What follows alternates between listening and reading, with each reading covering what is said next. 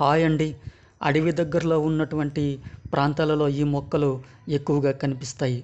తెలుగులో శీర్ణ తులసి మహాబీర అని పిలుస్తారు.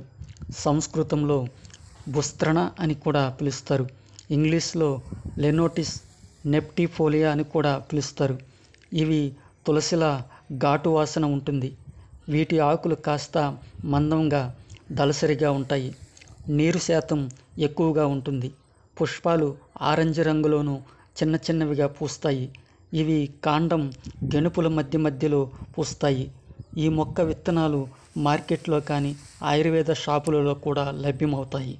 ఈ విత్తనాలు ఆయుర్వేద నిపుణులు మోకాల నొప్పులకు ఉపయోగిస్తారు. ఇవి అక్టోబర్ నుంచి జనవరి వరకు విరివిగా పుష్పాలు విత్తనాలు కాస్తాయి. Thank you for watching.